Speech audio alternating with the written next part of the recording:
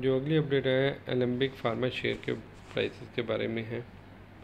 तो यह भारत में ब्रांडेड जेनरेसिक जेनेरिक में लीडिंग कंपनियों में से एक है और इसके पास U S F D A से खुद दो सौ छः A N D A approval one seventy nine final approval और ट्वेंटी सेवन टेंटेटिव अप्रूवल है। पिछले छः महीनों में एम्बोलिक फार्मा के शेयर में की फ़ीसदी की बढ़त देखी गई है, जो एक बहुत अच्छी बढ़त है।